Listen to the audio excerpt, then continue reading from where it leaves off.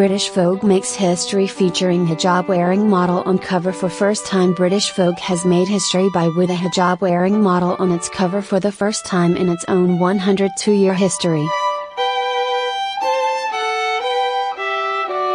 The Powerhouse publication has been at the forefront of discussions concerning diversity for quite some time. In April last year, it was announced that Ghanaian-born Edward Enninful would be taking on the role of editor-in-chief of the magazine, making him the first man ever to achieve the position. However, in January this year British Vogue was criticized for featuring actresses Nicole Kidman and Margot Robbie on the cover, alongside the names of numerous other prominent white figures, and dubbing the group of individuals as Hollywood's new era. Enninful has made it clear in the latest editor's letter for the publication that he believes very strongly in the importance of championing diversity. Nine models have been chosen to grace the cover of the May issue, described as fashion's new frontiers. Among the roster of models is 20-year-old Halima Aden, who has become the first hijab-wearing model to appear on the cover of British Vogue ever since the magazine was first founded in 1916. For Enninful, Giving these nine models the opportunity to introduce themselves to the world of fashion is extremely significant.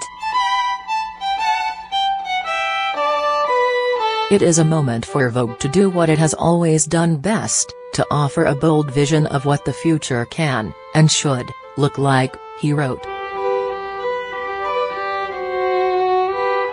Even five years ago, and certainly 10 or 20 years ago, if you were shooting a group cover like this, the girls would not have looked like these young women do? But one of the great positives of the past few months is the fashion industry finally embracing a concept that has defined my entire working life, diversity. When I say diversity, I want to be clear that it is never just about black and white for me.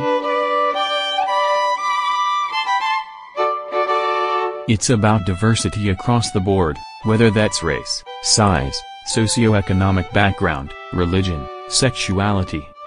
That's what I want to celebrate with this cover.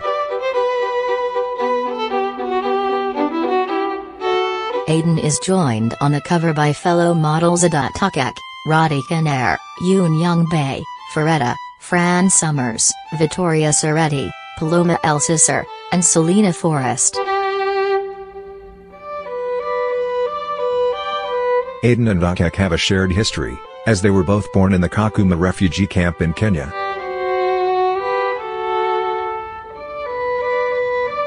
To me they represent a new global idea that anything is possible, wrote Enninful. Many people on social media are praising the pioneering cover, with an Instagram photo of the issue garnering more than 22,000 likes in less than a day.